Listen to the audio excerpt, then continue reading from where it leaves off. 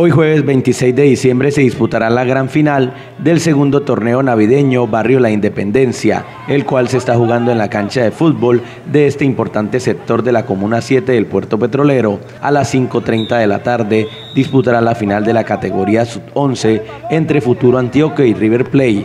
A las 6.30 de la tarde se jugará la final en la categoría sub-13, protagonizada por el Club Cincuentenario y el Club Infantas. Fueron más de dos meses donde los niños, tanto en la categoría 11 como sub-13, mostraron su mejor talento.